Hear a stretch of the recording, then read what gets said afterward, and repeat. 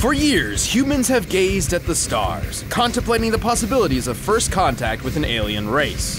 Will we exchange gifts of peace or weapons of war? Weapons. Definitely weapons. Like these ones. Ben 10, protector of Earth and wielder of the Omnitrix. And the Green Lantern, galactic lawman and bearer of the Power Ring. He's Wiz and I'm Boomstick. And it's our job to analyze their weapons, armor, and skills to find out who would win a death battle. Benjamin Tennyson was just your average 10 year old boy. He loved video games, hated school, and was prepared to have the most boring summer vacation ever until destiny fell from the sky. Upon discovering a strange crash landed alien device, it stuck itself upon his wrist with secrets that it hid. Now he's got superpowers. He's no ordinary kid. He's Ben 10.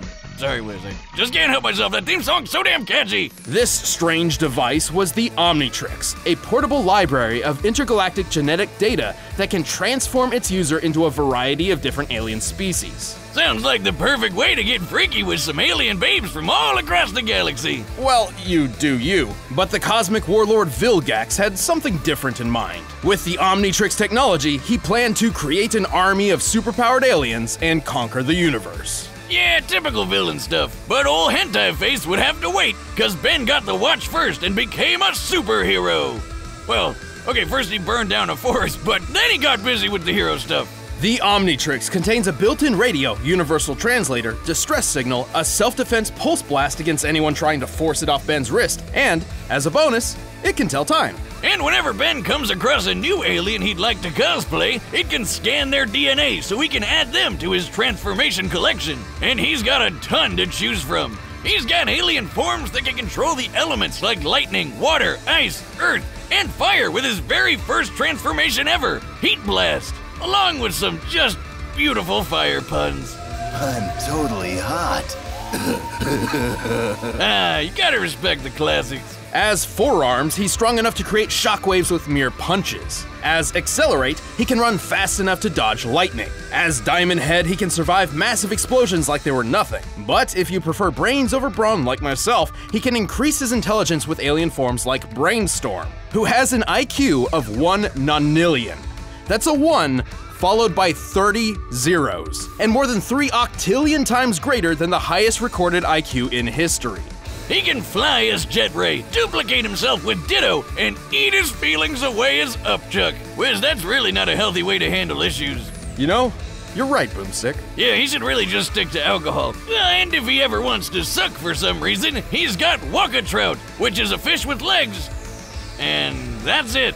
Probably Ben's worst transformation, and that's saying a lot considering he has an alien literally named the worst.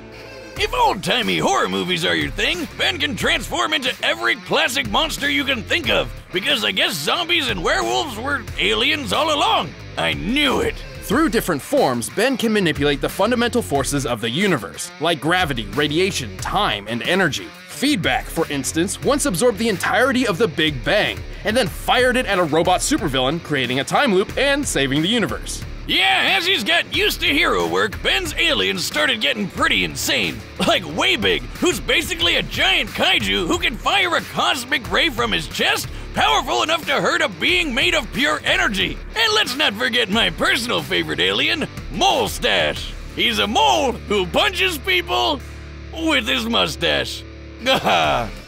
You can't write that. Truly a fearsome addition to Ben's massive arsenal. But contrary to the show's very specific title, Ben's Omnitrix doesn't just have access to 10 alien forms. In fact, it has 1,912. He's no ordinary kid. He's Ben 1,912. Yeah, it doesn't doesn't quite roll off the tongue like Ben 10, does it? Well, let's see if I can take one of these babies for a spin. Where did you get that? Don't worry about it. Whoa!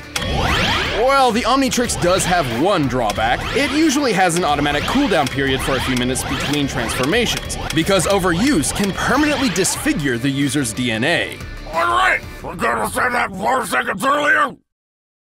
If you'll excuse me, I need to pee out my face. I'll fix this later. This cooldown would be a recurring issue for Ben until he discovered Master Control, a special code which, when input into the Omnitrix, just let him use it however he wanted. And if he's ever on death's door, the watch will automatically pop him into whatever alien body it thinks he needs at the time to survive whatever's happening. And there's one form that's almost always the best answer Alien X. Born in the forge of creation beyond the multiverse itself, Alien X is a celestial sapien, the most powerful species in the universe. He's basically a cosmic god who can punch planets to bits, fly faster than light, duplicate himself, control minds, use telekinesis, reverse time, warp reality, and even just straight up erase people from existence. It takes a lot to get their attention, and that's fine. We don't want it. Why not? They could just blink, and we'd be gone. Alien X is so tough, he survived the destruction of the entire universe by the Annihilarg and didn't feel a thing. Like, his durability was so through the roof, he didn't even realize total cosmic annihilation was happening right on top of him.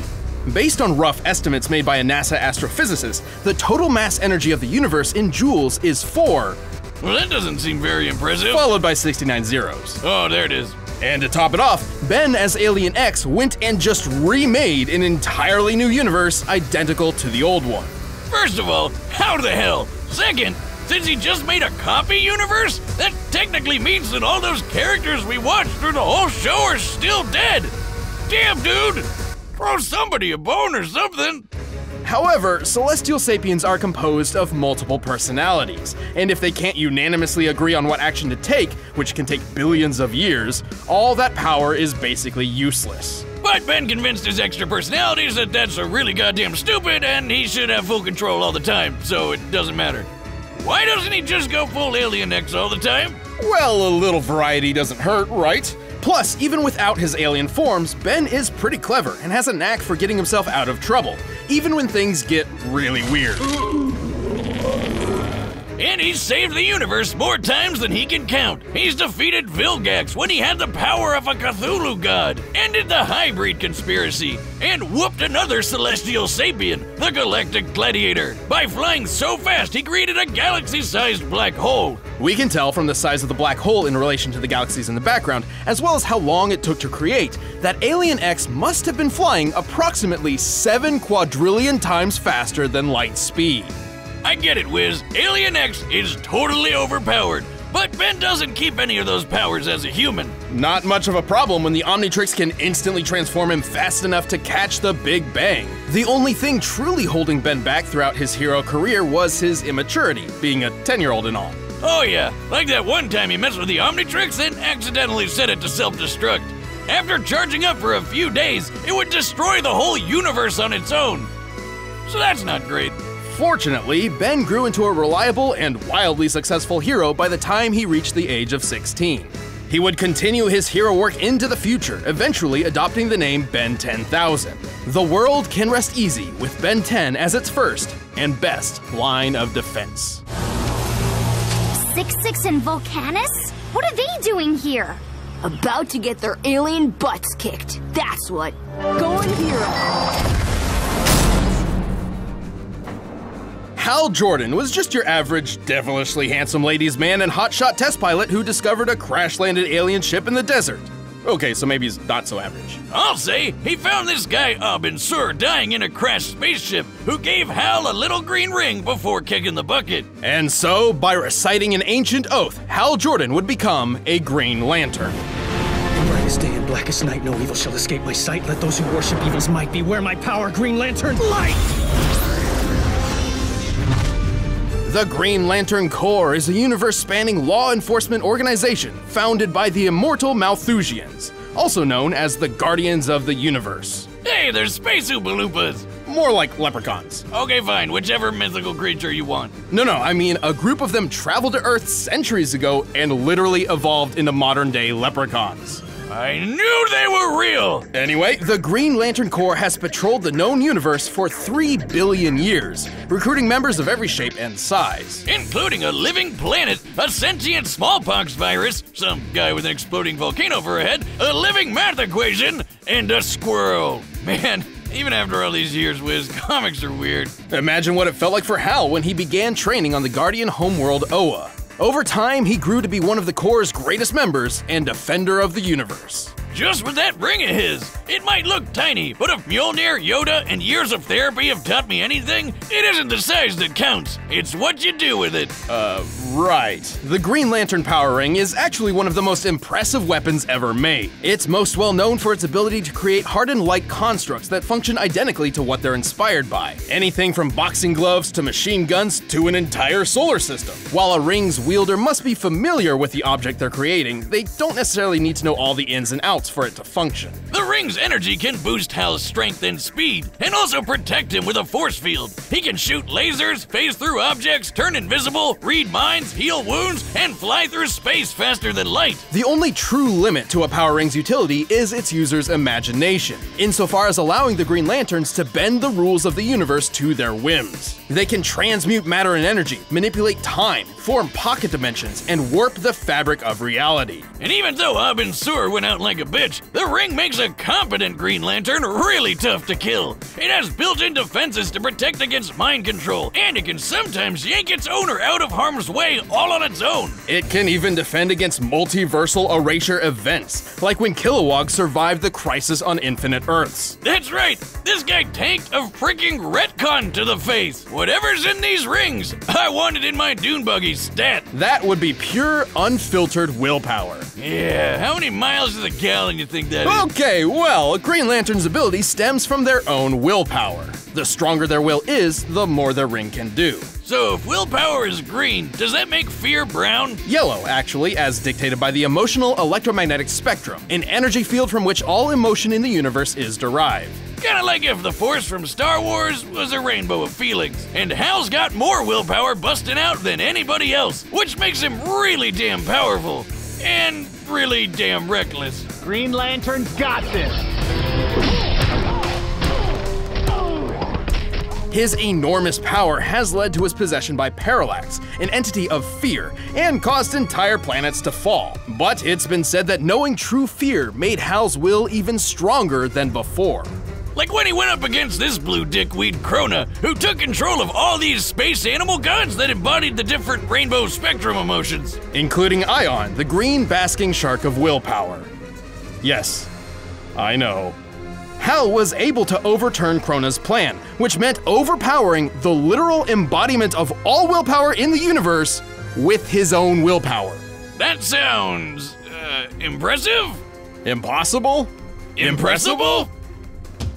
Hal's been knocked through a planet, blasted by a supernova, and punched by the reality shattering Superboy Prime. He was fast enough to fly to Earth from a planet at the edge of the universe. And factoring how DC's observable universe is at least 100 trillion light years in diameter, Hal must have been flying well over one and a half quintillion times the speed of light. And without the ring, Hal once had to pilot a ship traveling over light speed manually. As in, there were planets and stars in his way, and Hal had to steer. And since he can match the god of willpower, he can pull off crazy will feats that other Green Lanterns have done, like when Kyle Rayner held back a Big Bang. But to be fair, the power ring is not perfect. It does carry a finite charge, and should he expend too much energy too quickly, he'll need his power battery to refuel. Also, if his opponent can ruin his willpower, or even just his belief in himself, Hal won't be able to use the ring, which is lame. Yeah, these powers are pretty complex. Batman once had a plan to trick Kyle into thinking he was blind,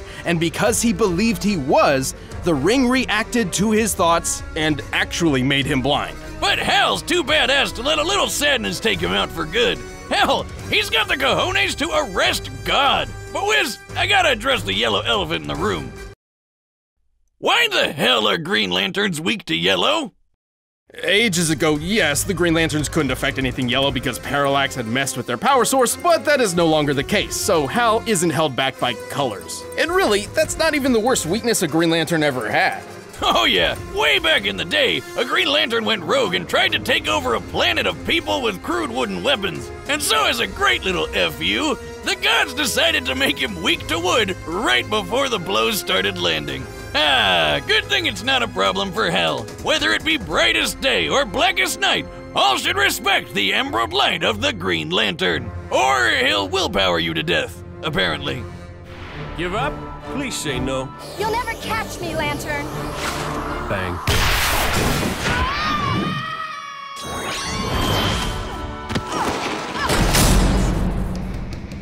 All right, the combatants are set, and we've run the data through all possibilities. But first, Hey, I'm Chad. I play Boomstick. I'm Ben, and I'm sick.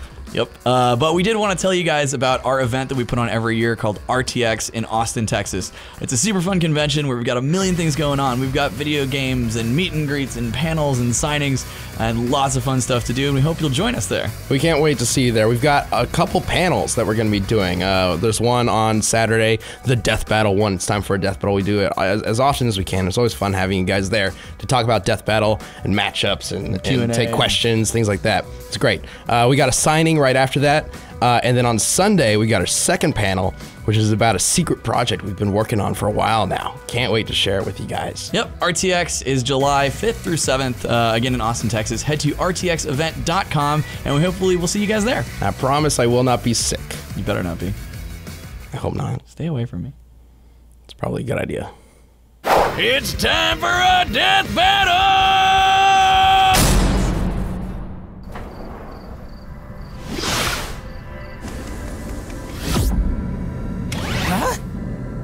Hello! Green Lantern, best looking guardian of Sector 2814, at your service. I can give you 10 good reasons right now to let me go. Sorry, kid. Seems you're carrying a Class A galactic superweapon. I'll just take this.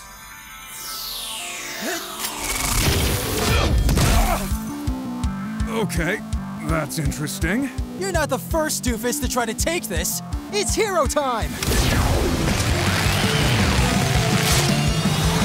Four Arms!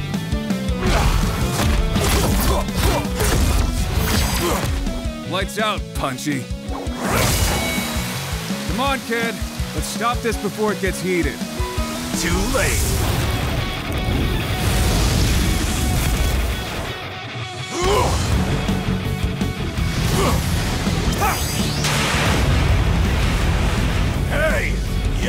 Supernova? Several, actually. I...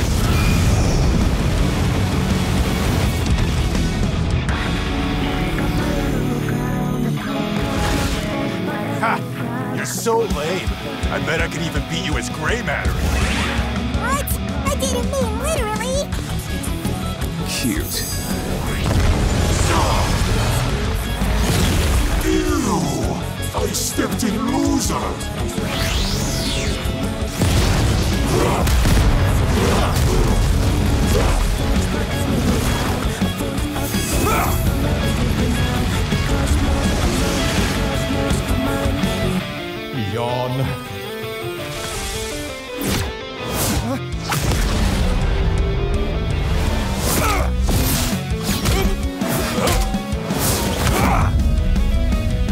This is Alien X.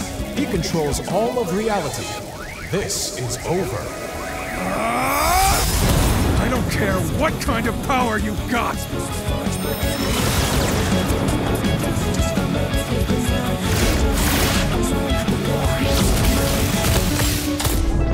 Brightest day and blackest night, no evil shall escape my sight. Let those who worship evil's might beware my power! Green Lantern's light!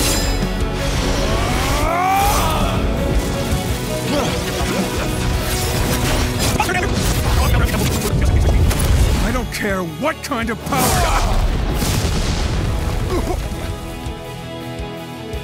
Reality includes time. Time, huh? Thanks for the tip.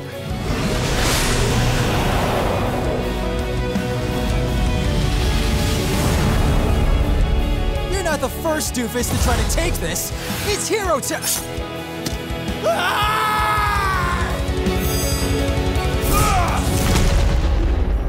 Ew, I stepped in loser. oh, it hurts to laugh. Don't ask. KO! Well, uh, that's another minor on our board of death. Ben's absurd versatility and ingenuity put up a stellar fight, but Hal had the tools and skills he needed to ensure a victory. While the Omnitrix's millions of aliens is just nuts, he can only ever use one at a time, while Hal always has access to all of his powers. Even with the flexibility of Master Control, this meant Ben was always playing catch up. Not a great position to be in considering Green Lantern's might. Ben's Diamond Head form was tough, sure, but he wasn't surviving a planet exploding in his face. XLR8 was wicked fast, but not fast enough to cross the universe in an hour. And Way Big was really strong, but he didn't hit as hard as a supernova. Hal simply outclassed all of Ben's options, except for one. Yeah, how the hell did Hal beat Alien X? That thing is basically omnipotent. Well, not exactly. Celestial Sapiens are extremely powerful, but they can be beaten in battle and have failed in the past, like the time Alien X recreated the universe. He only did that because he couldn't stop it from being destroyed in the first place. Alien X could definitely match a lot of Hal's power, but Hal had defenses against all of X's. Mind control? The ring protects Hal's head. Mess with time? Hal can do that too. Trying to wipe him from existence? Please, Green Lanterns can survive an entire universe being erased. Likewise, Alien X has never shown any defenses against the same kinds of things that Hal could replicate, like mind control, transmutation, and time manipulation. Ben and his alien forms put up a great fight, and Alien X is easily one of the most powerful combatants we've ever seen on Death Battle. However, Hal had the speed, versatility, and literal willpower necessary to claim his victory. Guess you could say Hal was definitely the ringer for this fight. Ugh. Oh, Wiz, don't be green with envy. That pun was 10 out of Ben. The winner is Green Lantern. I'm Sam, he's Luis. Neither of us are Wiz and Boomstick, but don't go anywhere just yet because we're about to announce the next matchup. And if you want the battle music, you can click the download link below.